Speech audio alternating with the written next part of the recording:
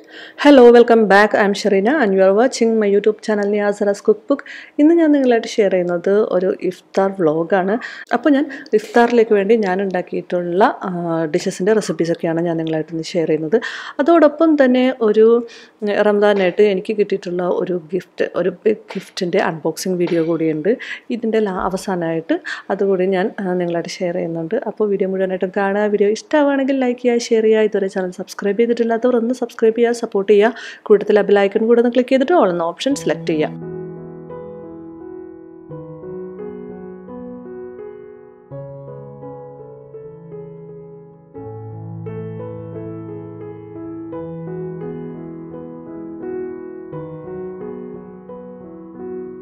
അപ്പോൾ ഇന്ന് first day of റമദാനിൽ എന്തൊക്കെയാണ് ഉണ്ടാക്കിയത് എന്നുള്ള ഒരു വീഡിയോയാണ് ഞാൻ നിങ്ങളായിട്ട് ഷെയർ ചെയ്യുന്നത്.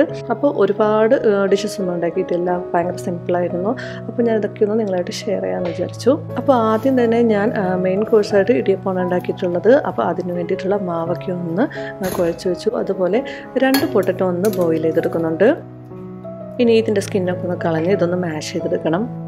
അതേപോലെ കുക്കറിലേക്ക് കുറച്ച് ചിക്കൻ എടുത്തിട്ടുണ്ട്. അത് സ്നാക്സിന് വേണ്ടിയാണ്. അതിലേക്ക് കാൽ ടീസ്പൂൺ മഞ്ഞൾപ്പൊടിയും കാൽ ടീസ്പൂൺ ഗരം മസാലപ്പൊടിയും കാൽ ടീസ്പൂൺ കുരുമുളക് പൊടിയും ആവശ്യത്തിന് ഉപ്പും ചേർത്തിട്ട് എല്ലാം കൂടി ഒന്ന് മിക്സ് ചെയ്തതിന് ശേഷം വെള്ളമൊന്നും ചേർക്കാതെ ഒന്ന് കുക്ക് ചെയ്തെടുക്കുകയാണ് ഇതിപ്പോൾ കുക്കറിൽ തന്നെ കുക്ക് ചെയ്യണമെന്നില്ല നമുക്കൊരു പാനിലിട്ടാണെങ്കിലും കുക്ക് ചെയ്തെടുത്താൽ മതി. പിന്നെ ഇതിലേക്ക് ഞാൻ അര ടീസ്പൂൺ ഇഞ്ചി വെളുത്തുള്ളി പേസ്റ്റ് കൂടി ചേർക്കുന്നുണ്ട്.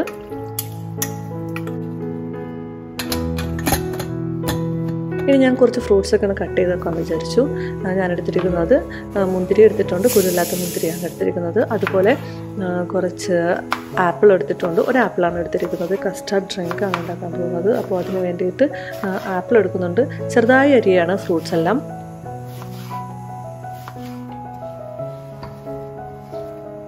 അതുപോലെ പിന്നീട് എടുത്തിരിക്കുന്നത് മാങ്ങയാണ്. മാങ്ങയും ചെറുതായി കട്ട് ചെയ്തെടുത്തിരിക്കുകയാണ്. പിന്നെ ഞാൻ ഇതിലേക്ക് എടുത്തത് പഴമാണ്. ഞാലിപ്പൂവനാണ് എടുത്തിരിക്കുന്നത്. ഇനി ഇവയെല്ലാം കൂടെ ഞാനൊരു സ്റ്റീലിന്റെ ബൗളിലേക്ക് മാറ്റിയിട്ട് ഇതൊന്ന് ഫ്രിഡ്ജിലേക്ക് വെച്ചിട്ട് ഒന്ന് തണുപ്പിച്ചെടുക്കാമെന്ന് വിചാരിച്ചു. ഇനി ഒരു പാത്രത്തിൽ അര ലിറ്റർ പാൽ ചേർത്തിട്ട് അതൊന്ന് തിളക്കാനായിട്ട് വെക്കണം. അതിലേക്ക് ആവശ്യത്തിനുള്ള പഞ്ചസാര ചേർത്ത് കൊടുക്കുന്നുണ്ട്.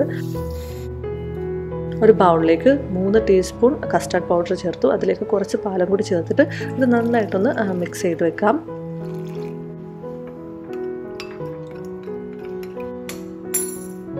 ഞാനിപ്പോൾ ഈ പൊട്ടറ്റോ ഒക്കെ ഒന്ന് മാഷ് ചെയ്തെടുക്കുകയാണ് ഇപ്പോൾ നമ്മുടെ ചിക്കൻ വെന്ത് വന്നിട്ടുണ്ട്. ഇനി ഞാനിതൊരു ബൗളിലേക്ക് മാറ്റുകയാണ് ഇനി ഇതൊന്ന് ഷ്രെഡ് ചെയ്തെടുക്കണം. ഇത് നമുക്ക് മിക്സിയിലിട്ടിട്ടോ അല്ലെങ്കിൽ കൈ വെച്ചിട്ട് ഇങ്ങനെ ചുമ്മാ പിച്ചിപ്പിച്ചെടുക്കുകയോ ഒക്കെ ചെയ്യാം. ഞാനിപ്പോൾ ഇത് കൈ വെച്ചിട്ടൊന്നിങ്ങനെ പിച്ചിപ്പിച്ചെടുക്കുകയാണ്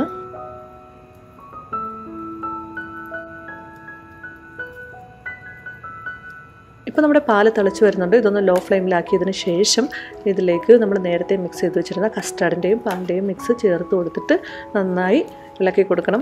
കൈയെടുക്കാതെ ഇളക്കി കൊടുക്കുക. ലോ ഫ്ലെയിമിലായിരിക്കാൻ പ്രത്യേകം ശ്രദ്ധിക്കുക. അല്ലെങ്കിൽ ഇത് അടുക്കി പിടിച്ച് പോകും. ഇതൊന്ന് ഇളക്കി യോജിപ്പിച്ച് ഒരു മിനിറ്റോളം ലോ ഫ്ലെയിമിലിട്ടൊന്ന് മിക്സ് ചെയ്തെടുത്തതിന് ശേഷം നമുക്ക് ഫ്ലെയിം ഓഫ് ചെയ്യാം. എന്നിട്ട് ഞാനിതൊന്ന് തണുക്കാനായിട്ട് വെക്കുകയാണ് ഇതിന്റെ ചൂടാറിയതിന് ശേഷം ഞാനിത് ഫ്രിഡ്ജിലേക്ക് വെക്കും.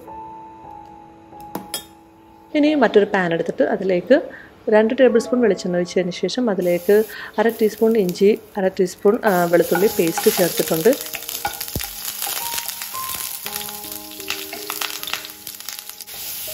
ഇതൊന്ന് വഴറ്റി ഇതിന്റെ പച്ചമണം മാറി വരുമ്പോഴേക്കും ഇതിലേക്ക് നനച്ചെടുക്കുന്നത് സവാളയാണ്. ഒരു വലിയ സവാള ചെറുതായി അരിഞ്ഞത് ചേർത്ത് കൊടുത്തിട്ട് നന്നായിട്ടൊന്ന് മിക്സ് ചെയ്തെടുക്കുകയാണ് ഇത് നന്നായിട്ടൊന്ന് വഴറ്റിയെടുക്കണം.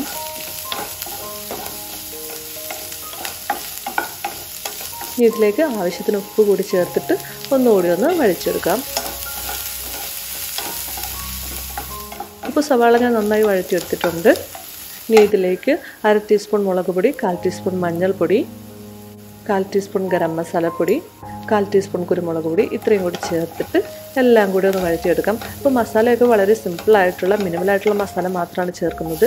ഇനി ഇതിലേക്ക് പകുതി തക്കാളി ചെറുതായി കട്ട് ചെയ്തതും കുറച്ച് കറിവേപ്പിലയും നേരത്തെ മാഷ് ചെയ്ത് വെച്ചിരിക്കുന്ന പൊട്ടറ്റോയും ഷ്രെഡ് ചെയ്ത് വെച്ചിരിക്കുന്ന ചിക്കനും ചേർത്ത് കൊടുക്കുകയാണ്. ഇനി ഇവയെല്ലാം കൂടി ഒന്ന് മിക്സ് ചെയ്തെടുക്കുക. ഈ മസാല എല്ലാം ചിക്കനിലും അതുപോലെ പൊട്ടറ്റോയിലും ഒക്കെ ആവുന്ന രീതിയിൽ എല്ലാം കൂടി നന്നായിട്ടൊന്ന് മിക്സ് ചെയ്തെടുക്കുക.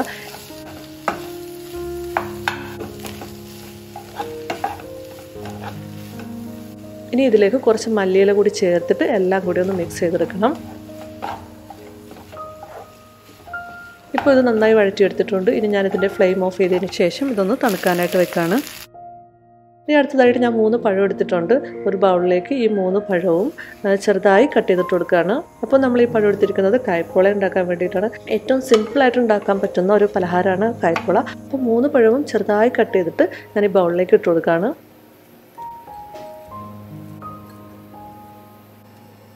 ഇനി ഒരു പാൻ വെച്ചിട്ട് അതിലേക്ക് ഒരു ടേബിൾ സ്പൂൺ നെയ്യ് ഒഴിച്ചു കൊടുക്കുന്നുണ്ട്. അതിലേക്ക് ഞാൻ കുറച്ച് കാഷ്യൂസും അതുപോലെ റൈസിൻസും ചേർത്തിട്ട് അതൊന്ന് വറുത്തെടുക്കുകയാണ്.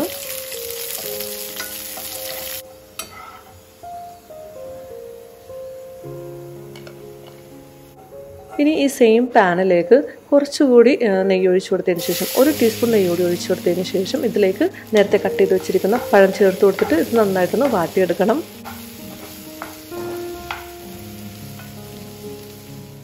ആ സമയം കൊണ്ട് തന്നെ ഒരു ബൗളിലേക്ക് ഞാൻ നാല് കോഴിമുട്ട എടുക്കുകയാണ്.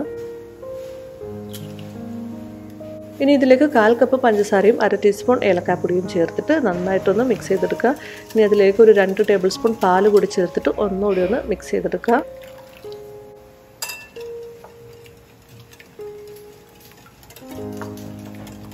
ഇനി ഞാനിതിലേക്ക് നേരത്തെ ആ വാട്ടി വെച്ചിരുന്ന പഴം കൂടി ചേർത്ത് കൊടുക്കുകയാണ്. ഇനി ആ സെയിം പാനിലേക്ക് കുറച്ച് നെയ്യ് ഒരു അര ടീസ്പൂൺ നെയ്യ് കൂടി ചേർത്ത് കൊടുത്തതിന് ശേഷം ഇനി അതിലേക്ക് നമ്മൾ ഈ മിക്സ് ചെയ്ത് വെച്ചിരിക്കുന്ന മുട്ടയുടെയും പഴത്തിന്റെയും ആ മിക്സ് ചേർത്ത് കൊടുക്കുക. എന്നിട്ടിത് ലോ ഫ്ലെയിമിൽ കുക്ക് ചെയ്തെടുക്കണം കുക്ക് ചെയ്യാൻ നേരത്ത് ഈ പാനിന്റെ അടിയിൽ ഒരു തട്ടോ അല്ലെങ്കിൽ ഒരു പഴയ പാനോ വെക്കാൻ ശ്രദ്ധിക്കുക. അല്ലെങ്കിൽ ഇതിന്റെ അടി കരിഞ്ഞു പോകും. അപ്പോൾ ഇത് ലോ ഫ്ലെയിമിലിട്ട് വേണം കുക്ക് ചെയ്യാനായിട്ട്. ലോ ഫ്ലെയിമിലിട്ട് ഒരു രണ്ട് മിനിറ്റ് കുക്ക് ചെയ്യുക. ആ സമയം കൊണ്ട് ഞാൻ കട്ട്ലറ്റിലേക്ക് വേണ്ടിയിട്ടുള്ള എഗ്ഗ് ബീറ്റ് ചെയ്തെടുക്കുന്നു. അതുപോലെ ബ്രെഡ് ക്രംസും റെഡിയാക്കി വെച്ചിട്ടുണ്ട്. നമ്മൾ നേരത്തെ റെഡിയാക്കി വെച്ചിരുന്ന ആ ഒരു മിക്സ് അത് ഞാൻ കട്ട്ലറ്റിന്റെ ഷേപ്പിലാക്കിയിട്ടുണ്ട് ഇനി നമുക്കിതൊന്ന് ബ്രെഡ് ക്രംസിലും എഗ്ഗിലും ഒക്കെ ഒന്ന് കോട്ട് ചെയ്തെടുക്കണം.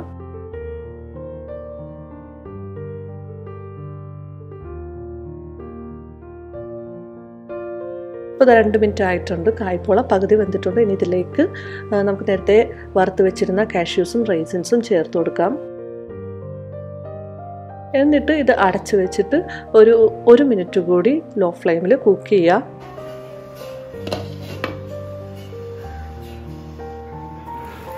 അപ്പം ഞാൻ കട്ട്ലറ്റ് കൂടി ഒന്ന് ഫ്രൈ ചെയ്തെടുക്കുകയാണ്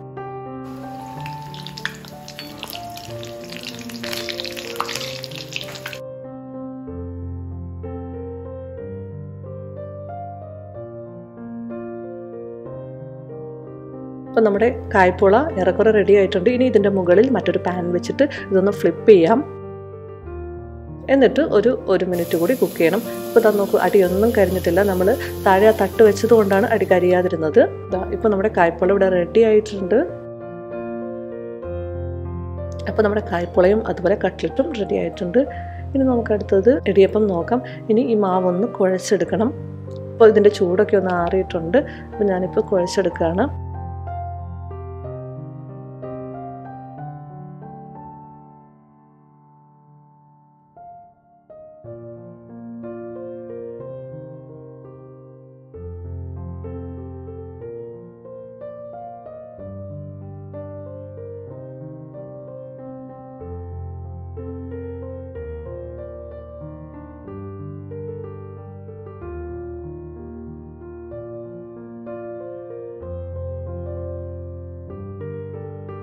ഇവിടെ ഉള്ളവർക്ക് പത്തിരിയേക്കാളും കൂടുതൽ ഇഷ്ടം ഇടിയപ്പമാണ് കേട്ടോ. ഇടിയപ്പാണെങ്കിൽ നമുക്ക് ഉണ്ടാക്കിയെടുക്കാനും ഭയങ്കര എളുപ്പമാണ്. ഇപ്പോൾ ഞാൻ തണുപ്പിച്ച് വെച്ചിരുന്ന ഫ്രൂട്ട്സ് ഒക്കെ എടുത്തിട്ടുണ്ട്. ഒരു ബൗളിലേക്ക് നേരത്തെ ഉണ്ടാക്കി വെച്ചിരുന്ന കസ്റ്റാർഡ് ഒഴിച്ചു കൊടുക്കുകയാണ്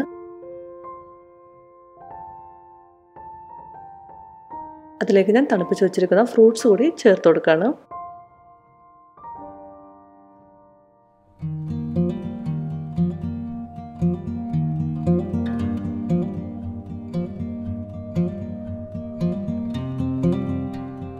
ഞാനിതിലേക്ക് ചേർക്കുന്നത് കാഷ്യൂസും അതുപോലെ റൈസിൻസും ആണ്. നമുക്ക് വേണമെങ്കിൽ ഇതിന്റെ കൂടെ ഡേറ്റ്സും കൂടി ചേർത്ത് കൊടുക്കാം കേട്ടോ. നല്ല ടേസ്റ്റാണ് ഡേറ്റ്സ് അങ്ങനെ ചെറുതായി കട്ട് ചെയ്തിട്ടിട്ട് ചേർത്ത് കൊടുത്തു കഴിഞ്ഞാൽ ഇനി ഇവയെല്ലാം കൂടി ഒന്ന് മിക്സ് ചെയ്ത് കൊടുക്കുക. ഇതൊന്ന് മിക്സ് ചെയ്തെടുത്തതിന് ശേഷം ഞാനിതിലേക്ക് പോം ഗ്രനേറ്റ് കൂടി ചേർക്കുന്നുണ്ട്.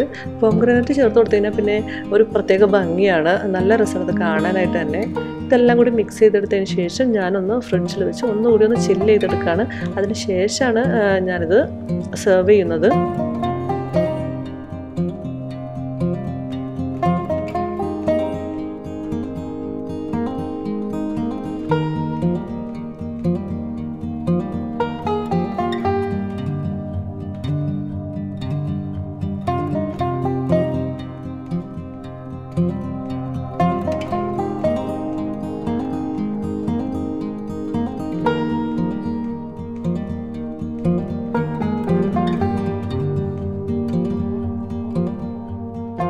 നമ്മുടെ ഇതാ ഇടിയപ്പം റെഡി ആയിട്ടുണ്ട്.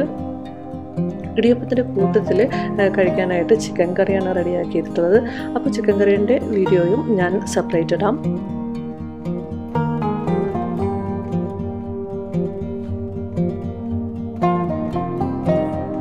ഇനി അടുത്തത് നമ്മുടെ അൺബോക്സിങ് വീഡിയോയാണ് ഞങ്ങളുടെ കയ്യിലൊരു ചെറിയ ഫ്രിഡ്ജാണ് ഉണ്ടായിരുന്നത്. ഒരു സിംഗിൾ ഡോറിന്റെ ഒരു ഫ്രിഡ്ജാണ് ഉണ്ടായിരുന്നത്. അപ്പോൾ അത് മാറ്റുമ്പോഴേക്കും നമുക്കൊരു സൈഡ് ബൈ സൈഡ് ഫ്രിഡ്ജ് വാങ്ങണമെന്ന് ചുമ്മാ ഇങ്ങനെ പറയുമായിരുന്നു. പക്ഷേ അത് ഇത്ര പെട്ടെന്ന് നടക്കുമെന്ന് ഞാൻ വിചാരിച്ചതേ ഇല്ല. റമദാനായിട്ട് എനിക്ക് കിട്ടിയൊരു വലിയൊരു ഗിഫ്റ്റായിരുന്നു ഇത്. ഒരുപാട് ആഗ്രഹിച്ചതായിരുന്നു അത്. അപ്പോൾ അതിന്റെ ഒരു അൺബോക്സിങ് വീഡിയോ ആണ് കാണിക്കുന്നത്.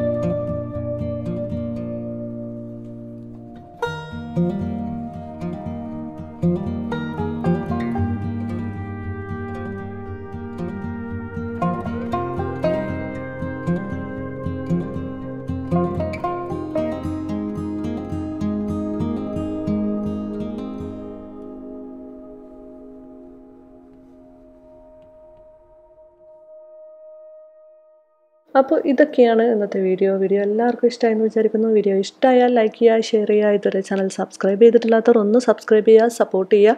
കൂടുതൽ ആ ബെല്ലൈക്കൺ കൂടെ ഒന്ന് ക്ലിക്ക് ചെയ്തിട്ട് ഓൾ എന്ന ഓപ്ഷൻ സെലക്ട് ചെയ്യുക. കൂടുതൽ റമദാൻ റെസിപ്പീസൊക്കെ ആയിട്ട് നമുക്ക് മറ്റൊരു വീഡിയോയിലൂടെ വീണ്ടും കാണാം. അതുവരെ bye bye take care thank for watching